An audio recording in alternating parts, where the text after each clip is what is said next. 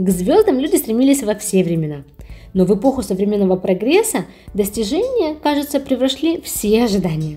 Небоскребы взлетают к облакам все чаще и стремительнее, а вслед за ним на лифте любопытные путешественники и отдыхающие.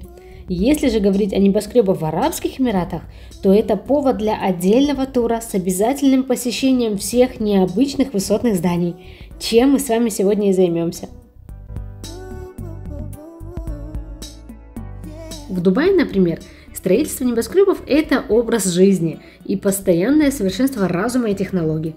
Главным образом, все высотные строения здесь располагаются в четырех районах – GLT, Дубай-Марина – Даунтаун и Шейх Зайд Роуд.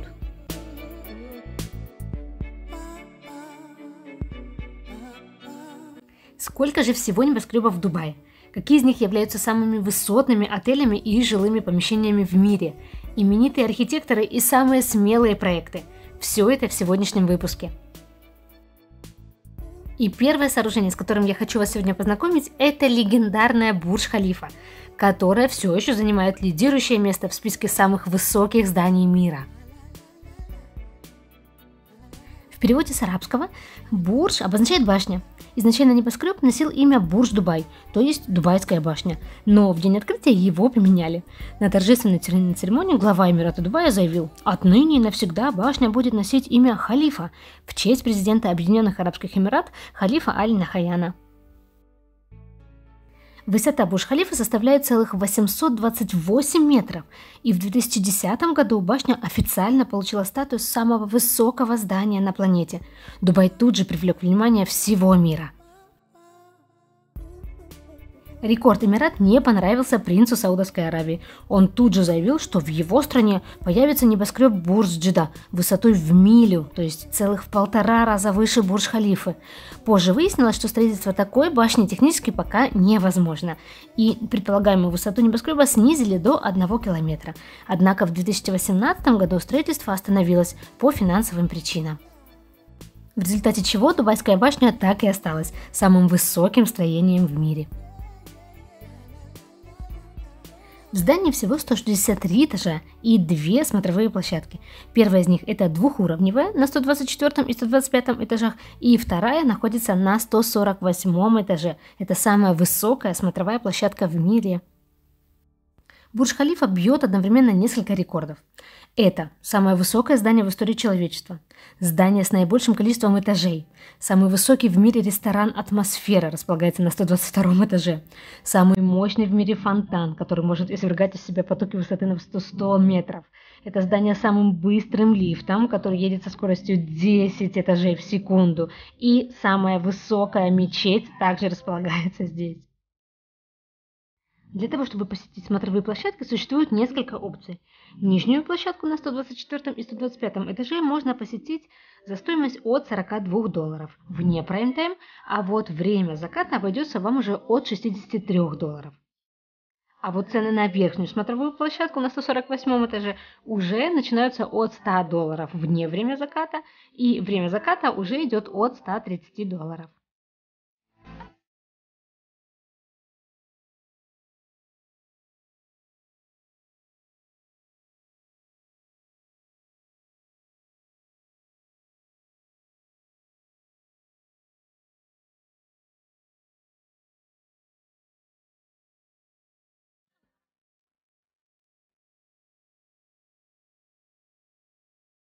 Бурж-Халифа – это центр жизни Дубая. Помимо того, что она постоянно мелькает в рекламных роликах, фильмах, экстрим-проектах, также она привлекает внимание как местных принцев, так и иностранных знаменитостей.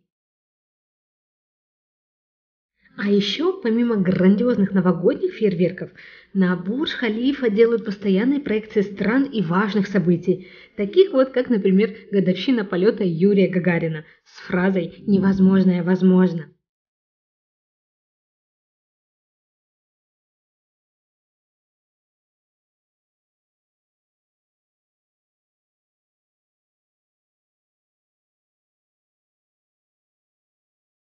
Теперь давайте пару слов о том, сколько же стоит жить в легендарном Бурдж-Халифа. Стоимость покупки односпальных апартаментов в самом высоком здании мира вам обойдется порядка 740 тысяч долларов. А вот двухспальные апартаменты обойдутся уже больше миллиона долларов. Причем цена здесь прямо пропорциональна высотности. Чем выше этаж, тем выше стоимость. Вот пример двухспальной квартиры с тремя ванными комнатами, без мебели, с видом на фонтаны за 5,2 миллиона дирхам. стоимость включен абонемент в тренажерный зал и бассейн. А вот квартира с одной спальней и одной ванной комнатой за 2,7 миллиона дирхам. Если вам еще не хватило, то вот апартаменты с тремя спальнями и семью туалетами за 8 миллионов дирхам.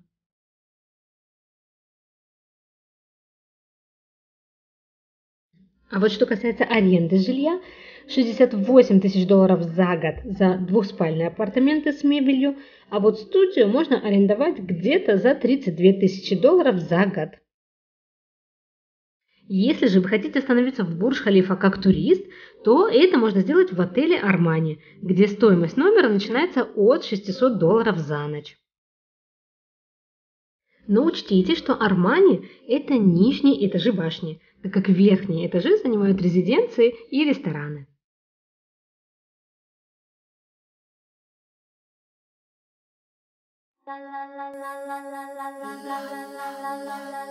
Продолжая тему Бурж-Халифы, которую, кстати, мы сегодня будем еще много раз затрагивать, скажу вам, что среди местных жителей больше ценятся отели и апартаменты не в самом небоскребе, а с видом на него. И сейчас предлагаю вам топ отелей и резиденций в окрестностях Бурдж-Халифы, Дубай-Молл и фонтанов.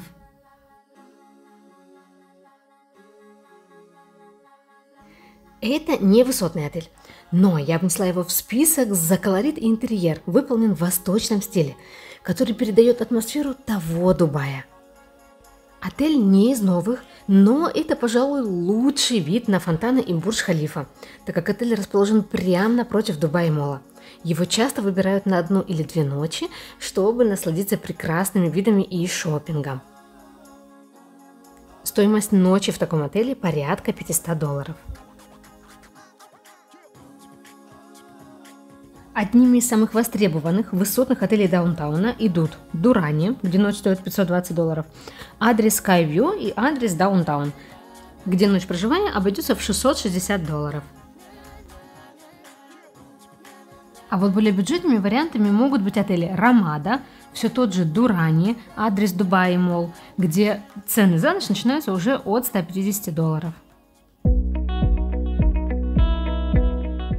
Еще одна визитная карточка Дубая – это Бурж Аль Пожалуй, это самая знаковая достопримечательность города. Здание имеет форму паруса и построено на искусственном острове, расположенном почти в 300 метрах от берега. Он был отправной точкой начала luxury отдыха в Дубае. Бурж Аль-Араб, так же как и его соотечественник Бурж Халифа, имеет огромное количество достижений и успехов. Во-первых, он является одним из самых высоких отелей в мире. Его высота вместе с мачтой составляет 321 метр, а вестибюль отеля является одним из самых высоких, его высота 180 метров. Бурж Аль-Араб имеет всего 28 этажей, на которых размещаются 202 двухуровневых номера, проживание в которых себе могут позволить только богачи. За ночь в обычном номере придется выложить от 1000 до 15 тысяч долларов, а самый дорогой номер, королевский, за ночь обходится в 24 тысячи долларов.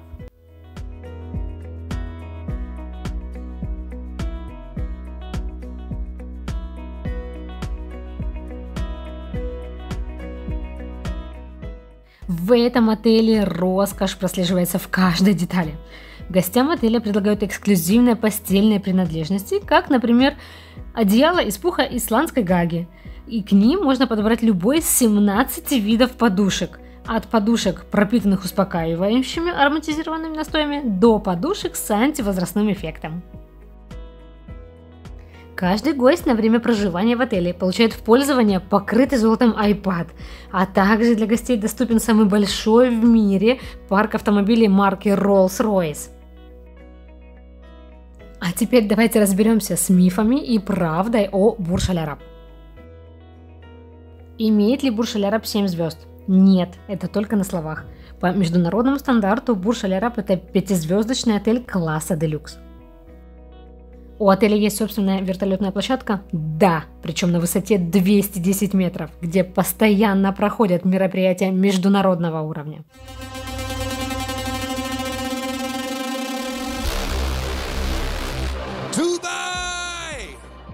В отеле используется одна из самых дорогих косметик Hermes, включая парфюм. Бурж Аль Араб имел два мировых рекорда. Первый – это являлся самым роскошным отелем в мире, не знаю, как они это рассчитывали. И второй – они обладатели самого дорогого коктейля в мире стоимостью 9 тысяч долларов. В отеле есть подводный ресторан? В Бурж Аль Араб имеется ресторан со стеклянными стенами Аль-Махар. Он входит в десятку лучших ресторанов мира – Отделка отеля сделана из золота.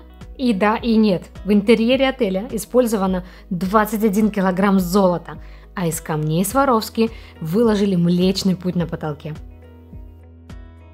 Следующим интересным фактом про отель является то, что он стоит на искусственном острове. Это знают все. Но этот остров совсем не такой, как все остальные намывные острова в Персидском заливе, так как он должен выдерживать огромный вес здания – Основание острова – это массивная бетонная плита, которая покоится на 250 бетонных сваях, каждая из которых уходит в глубину на 40 метров. А кроме того, по периметру весь остров обложен пустотелыми бетонными блоками, напоминающими пчелиные соты. Эти блоки гасят силу волн. Кстати, высота острова всего 7,5 метров. Помимо всего остального, на территории Бурж-Аль-Араб располагается 8 ресторанов и баров мирового класса. Один из них это подводный ресторан со стеклянными стенами Аль-Махара, где подают блюда из морепродуктов, и на высоте 200 метров располагается ресторан Аль-Мунтаха, который является отличным местом для того, чтобы насладиться коктейлем или чаем, а заодно полюбоваться красивейшими видами Дубая. А на 27 этаже отеля находится бар Skyview, который можно посещать только если вы проживаете в отеле или уже побывали в одном из ресторанов. Именно в этом баре находится тот самый знаменитый коктейль за 9 тысяч долларов. Название самой дорогой гостиницы Буршелера переводится как «Арабская башня». И благодаря узнаваемой креативной форме он еще известен как отель «Парус». В Объединенных Арабских Эмиратах до его строительства не было архитектурного сооружения, которое могло бы считаться туристическим символом города и страны, подобно европейскому Биг Бену или Эйфелевой башне. И в 1999 году такое здание наконец появилось и сразу же приобрело статус самого лучшего и дорогого отеля в Дубае, которое пока никто еще не победил.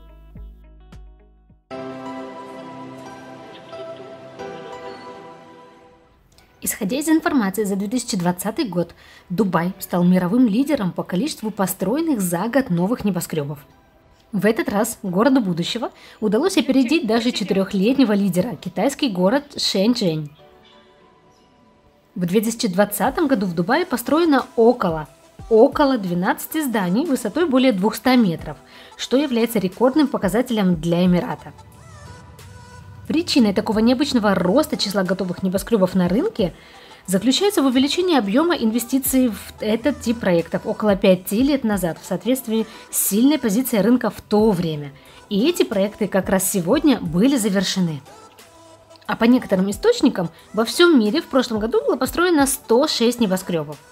Поэтому, соответственно, я вам не могу ответить на вопрос, сколько небоскребов в Дубае – потому что данные везде отличаются, и также обязательно нужно учитывать замороженные проекты. Но я вам могу показать топ-10 самых высоких зданий города. Ну что, поехали? В этом списке я буду показывать реально существующие здания, достроенные и сданные в эксплуатацию. Чуть позже я вам еще разъясню, почему я делаю акцент именно на этом. И лидером нашего топ-10 самых высоких зданий в Дубае является уже известная вам Бурдж-Халифа с высотой 828 метров. Принцесс Тауэр – это жилой небоскреб, расположенный в Дубае в районе Дубай-Марина. Высота здания целых 414 метров при 101 этаже. Это второе по высоте жилое здание в мире и также второй по высоте небоскреб в Дубае. А вот 90-этажный жилой небоскреб, построенный в Дубае. Его высота 393 метра. И до завершения строительства небоскреба Princess Tower он считался самым высоким жилым зданием в мире. В башне представлены 288 апартаментов, часть из которых это двухуровневые квартиры с четырьмя спальнями. А стоимость вот такого пентхауса вам обойдется порядка 30 миллионов долларов.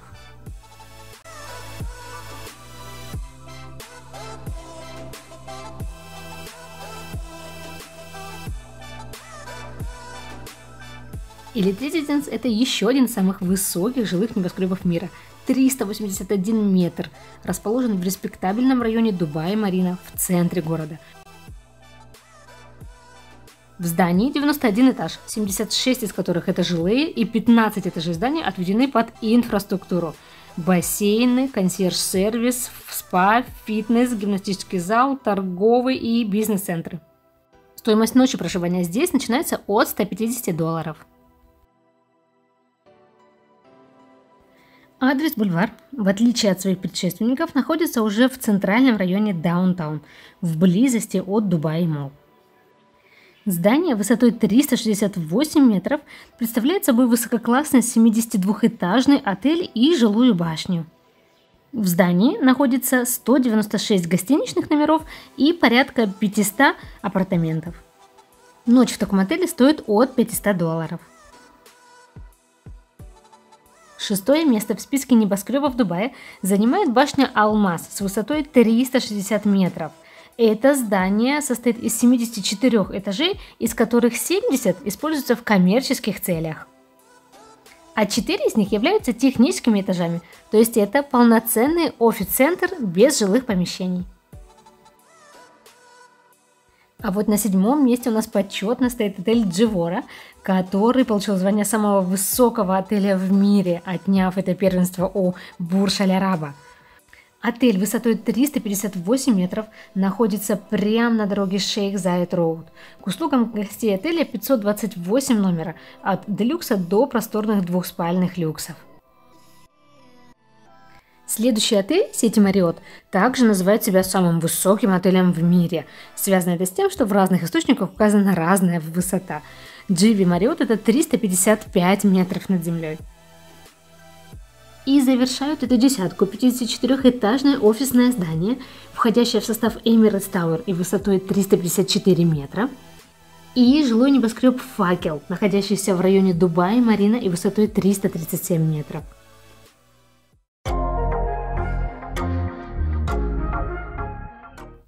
Интернет и соцсети пестрят информацией о достижениях Объединенных Арабских Эмират, а в частности Дубая. То и дело появляются заголовки о поставленных новых мировых рекордах, возведении нового неимоверного небоскреба в футуристическом стиле или насыпанном очередном острове или архипелаге. Причем это подается в утвердительной форме и зачастую в настоящем или даже прошедшем времени, что я, как житель Дубая, то и дело начинаю удивляться тому, где же находится эта постройка и почему я ее еще не видела.